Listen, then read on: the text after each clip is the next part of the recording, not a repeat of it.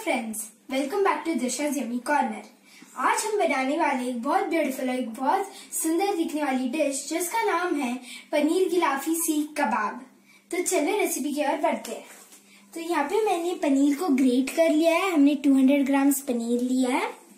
और यहाँ पे ये red chilli powder red chilli powder डाल लेते हैं। ये है जिंजर गार्लिक और रेड ग्रीन चिली का पेस्ट तो ये भी डाल लेते हैं हम। जीरा पाउडर। सॉल्ट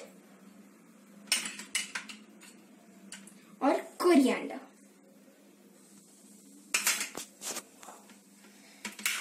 इसके अंदर जाएगा कॉर्नफ्लावर जो बाइंडिंग के लिए यूज़ होगा। और सबसे आखिर में इसके अंदर जाएगा प्याज।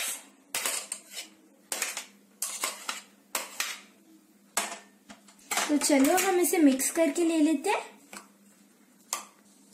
इसके अंदर जाएगा थोड़ा चाट मसाला।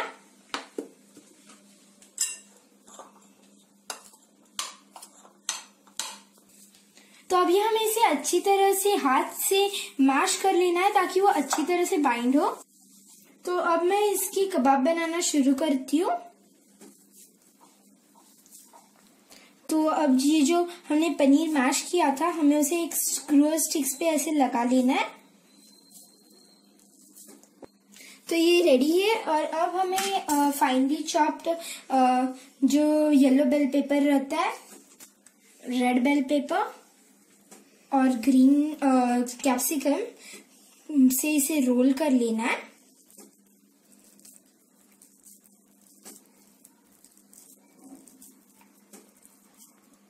तो ये बन गया। देखिए कितना कलरफुल और अच्छा लग रहा है। तो हम इसी तरह से बाकी के जो भी है कबाब वो भी बना लेंगे। तो देखिए कितने कलरफुल और बढ़िया लग रहे हैं ना। तो अभी हम ना ये जो एक नॉन स्टिक पैन या एक ग्रिल पैन लेना है जिसपे हम आ, हमारे इन कबाब को ग्रिल करेंगे और उसे ऑयल के साथ हमें ग्रीस कर लेना है। तो मैंने यहाँ पे कॉर्नफ्लावर वाटर की स्लरी बनाई है। तो हमने जो ये बनाया है कबाब, इसे हमें इसके अंदर से स्लरी का कोट देना है।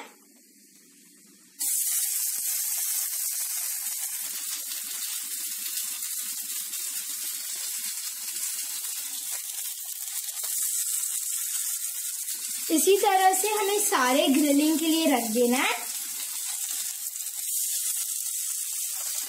तो आपको इसे घुमा घुमा के हर तरफ़ से गोल्डन ब्राउन हुए तब तक इसे अच्छी तरह रोस्ट करना है।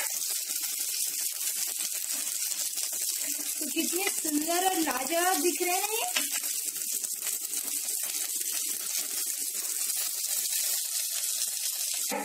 तो अभी हम इन सबको उतार लेंगे।